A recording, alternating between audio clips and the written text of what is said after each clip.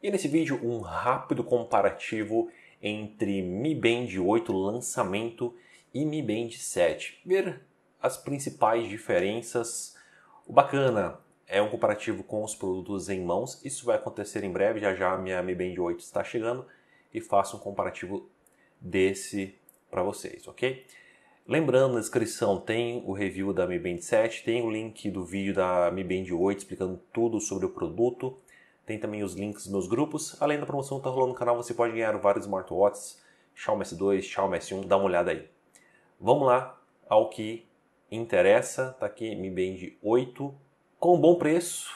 É um preço aí é, parecido com o da Mi Band 7 no lançamento do ano passado, tá? Então não tem muita diferença de preço, é basicamente o mesmo. Lembrando que essa versão aqui da Mi Band 8 é uma versão chinesa, então tem o idioma inglês, e o mandarim, mas assim que sair a versão global vem também o português para facilitar aí a nossa vida, tá? Mi Band 7 está com um preço muito bom aqui, mas esse é um preço para novo usuário. Se você abrir com uma conta antiga, o preço sobe um pouco, mas ainda assim fica com um preço muito bom. É um custo-benefício muito legal essa Mi Band 7. E claro, o link de compra de cada produto está aí na descrição. Vamos lá, vou fazer um teste aqui, vou adicionar essa Mi Band 8 no carrinho. O legal é que esse anúncio aqui ó, tem aquele acessório né, que a Mi Band 8 trouxe. Eu já comento sobre isso, tem também as pulseiras exclusivas. São caras, né? São produtos, é, produtos caros, acessórios caros, mas para quem quer um negócio diferenciado, tá aí. É a grande inovação da Mi Band é, 8. Bom, na descrição tem o cupom que eu estou usando aqui, que é o BR Leo25 e você leva então por 220 Tá? No caso aqui da Mi Band 7 não dá para usar esse cupom porque já tem um desconto aqui de novo usuário. Né? Esse cupom é para novo usuário. Então assim, o preço está bacana, como falei, por ser aí um lançamento e ser um preço muito próximo da Mi Band 7. Ah, claro, 220 com a opção aqui da película e tal, alguns acessórios a mais. Né? Se você pegar a versão aqui sem nenhum acessório, sai ainda mais barato, sai por menos de 200, né? 198, uma coisa, 99, não calculei direito, mas é mais ou menos por aí. Beleza? Bom, vamos lá. Descer aqui o um anúncio e mostrar para vocês as diferenças entre os dois produtos. Visualmente falando, é, muda né, bastante. Você nota que tem esse sistema novo de pulseira.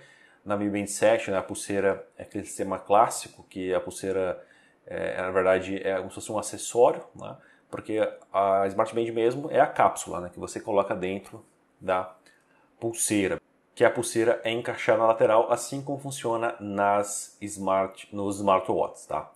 Então, é um sistema diferente.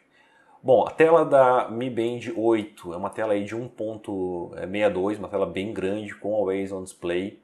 É, eu li também é, aqui no, no, no, site que tem o brilho automático e, e tá aqui, a informação está aqui, tá? Tem brilho automático, que é um grande diferencial e tem bastante nits, uma tela com muito brilho. Bacana. Vindo aqui na Mi Band 7, você nota que é o mesmo tamanho de tela, porém essa tela não tem o brilho automático, apenas o Always On Display. Então, assim, um recurso muito top que eles estrearam na, na Mi Band 7 Pro global e chinesa, enfim, e que veio para cá, né? O, o, brilho automático, que é um recurso que praticamente não existia em Smart Bands. Mas lembrando que a Mi Band 7 Pro custa mais de 300 reais, esse aqui custa na casa de 200, então é um recurso realmente bem interessante. Tá?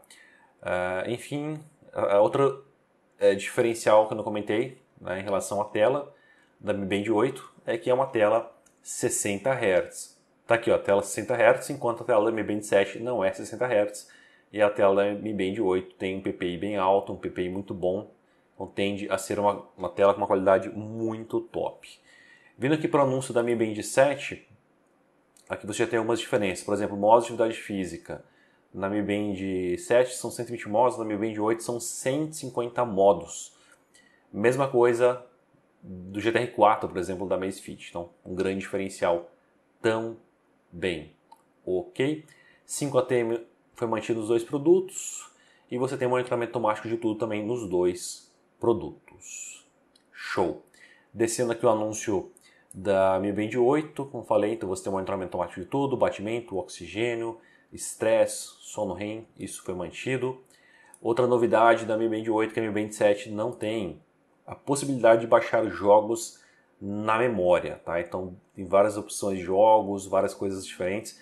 Eu não cheguei a encontrar informação se tem apps para você baixar, assim como nos smartwatches mais caros é, da, da marca e da Amazfit também. Tá? Essa informação eu não encontrei, mas os jogos você pode né, usar joguinhos da memória e é uma novidade, coisa que a Mi Band 7 também não tinha. Tá?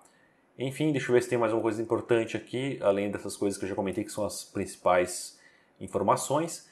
Tem esse sistema novo aqui que você tem né, o suportezinho, você coloca a Smart Band, pode colocar, sei lá, no tênis, né? eles deram exemplo colocando no tênis, e aí você monitora sem precisar colocar no pulso. É um negócio diferente, tá? Para quem corre é bacana porque ela tem um modo só de corrida, é um diferencial que a Mi Band 7, no caso, não tem, tá?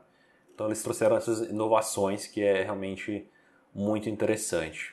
Até 16 dias de bateria, na Mi Band 7 você tem até 15 dias, que já era excelente.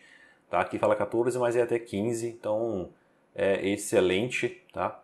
Então realmente ficou muito bom, tá? muito bom mesmo.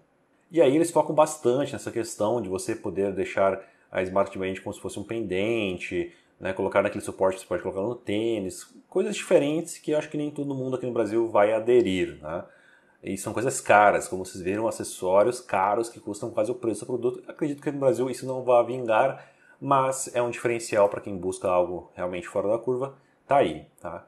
Como falei, no Brasil acredito que isso não vingue.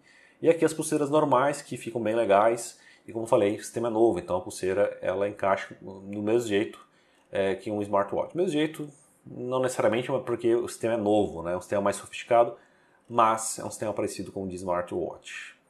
Enfim, aqui alguns menus, algumas questões. Aqui você tem a possibilidade de controlar produtos Xiaomi pela Smart Band, isso é legal. Né? Se você tem um ecossistema, ecossistema Xiaomi em casa, dá para controlar.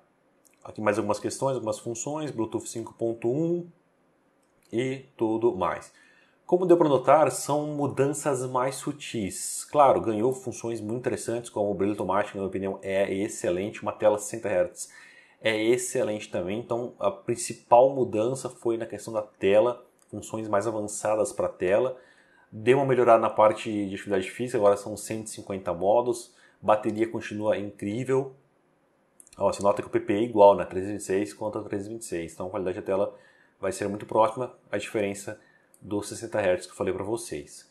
Então, assim, são mudanças mais sutis. E aí fica a questão: vale a pena é, fazer upgrade, por exemplo, eu tenho uma Mi Band 7, eu quero ir para uma Mi Band 8.